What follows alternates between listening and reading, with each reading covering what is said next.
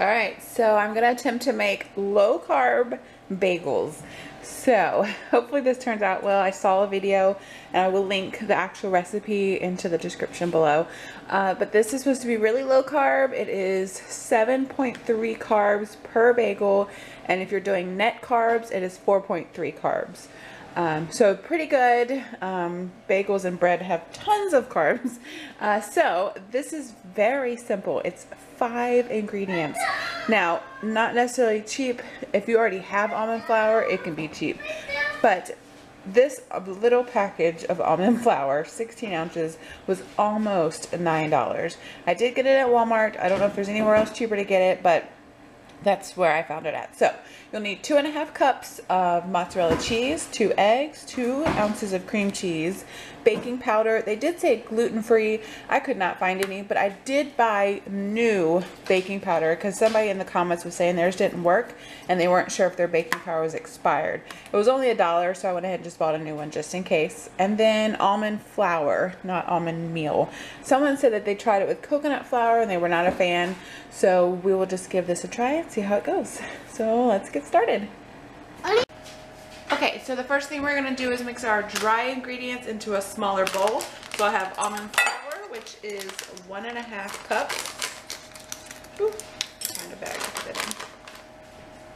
Now a couple comments said that if it feels gritty, I might blend it because it is a little like gritty to kind of smooth it out. I wish I had a food processor. Excuse Hannah in the background. Alright, so that. Woo, I'm going to seal this up.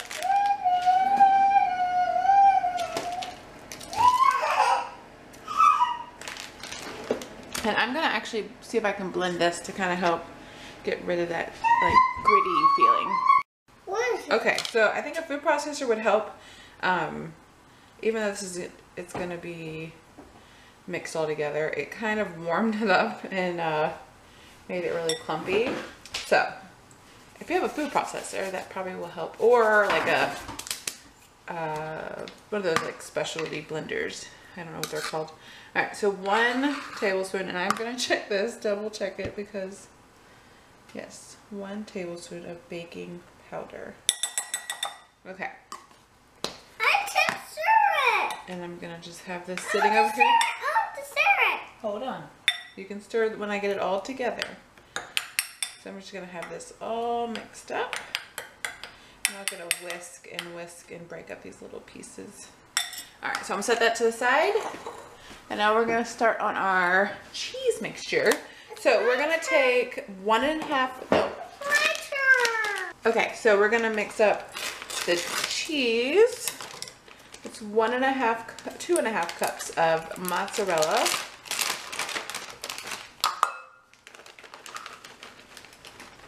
There's one, two, whoops, and a half.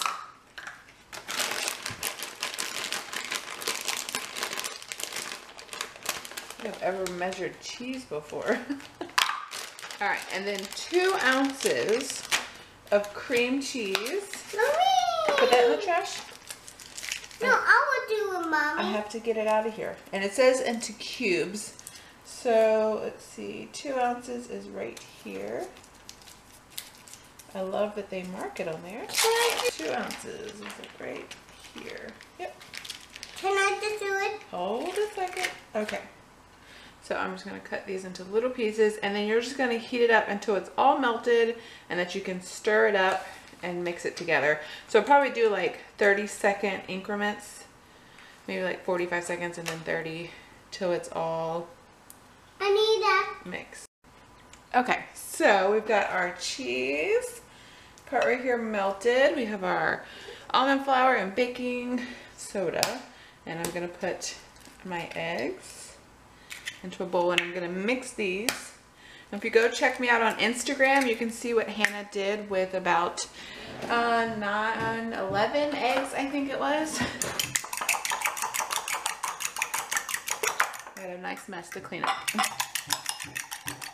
Okay, so it said beat these instead of mixing them all in, and I'm just gonna make sure. Okay, I didn't want that to be too hot because um, it might not taste good, or it might scramble the eggs. All right, so I'm mixing in. Oh, I could have mixed them in that bowl, but you know. So now we're gonna mix this together.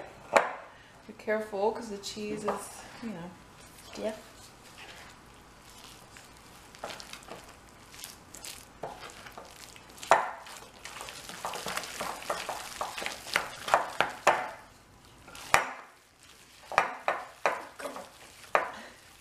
It's really hard incorporate.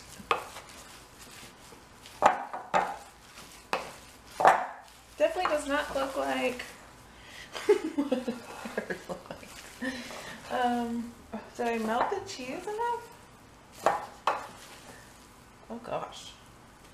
I didn't waste any of this. I'm gonna try to heat up the cheese a little bit. Ugh.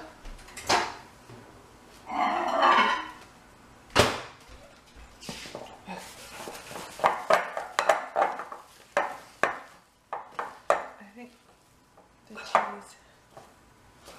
Oh my goodness. Should try my hand. Oh my gosh, this is not what it looks like. What the heck?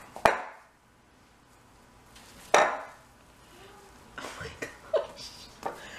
What is this? is not what it's supposed to look like.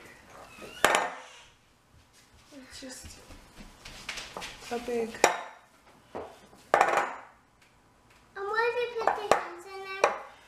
It's a disaster. Oh, I'm so excited about it. You said excited? Yeah, now I have to use more cheese and more expensive almond flour. Oh my gosh. Oh. Why do you wash your hands? You have to wash your hands. Whoa. Ew. Like, I don't know what to do.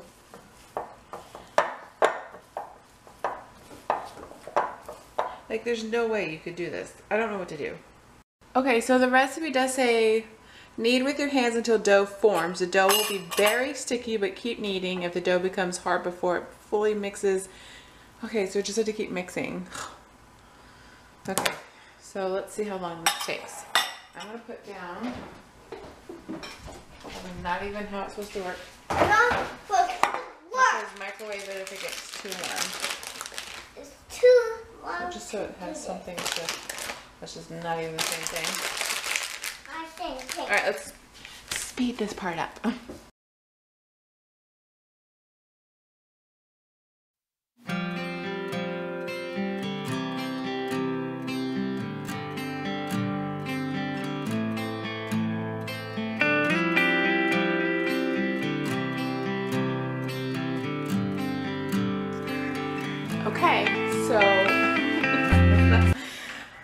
yeah, we'll just give this a try. So it's supposed to make six.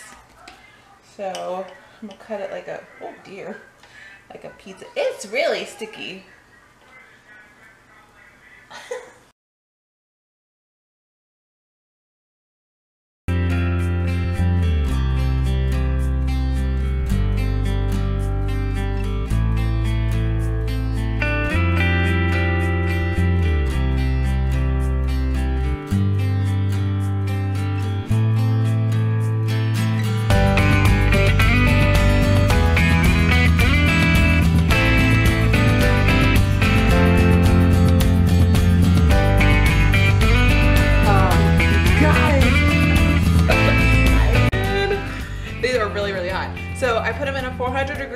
For about 13 minutes.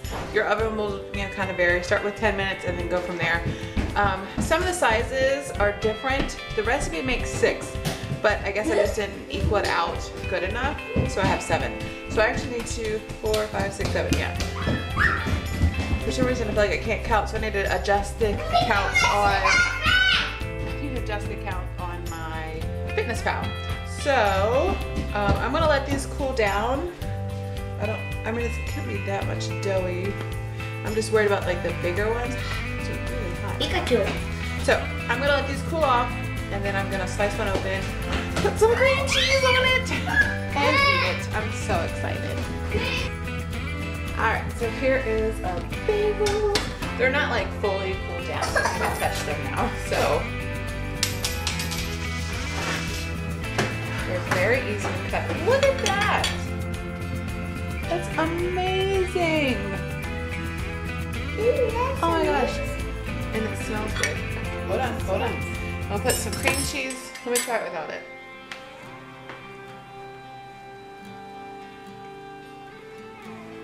Um, these are amazing.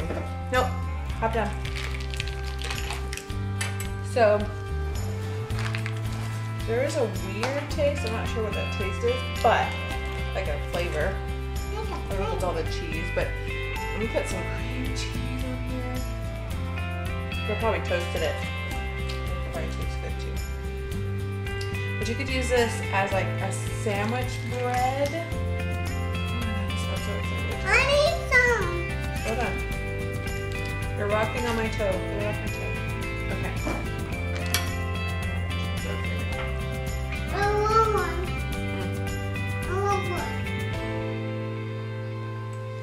Is so good. Not very low carb. So a regular bagel has like around 41 grams of carbs. This has about seven, six or seven grams of carbs, depending on like how many of these you make. Stop, you're making a mess. So depending on how many of these you actually make, um, you know, you'd have less carbs if you made them smaller. I'm gonna toast that one up. Um, but you could use this for breakfast. You could make a breakfast sandwich. You can make a sandwich. You can make some garlic bread out of it. I mean, oh, that's so good. Mm. I am one low carb happy person. Mm, love it. Two thumbs up.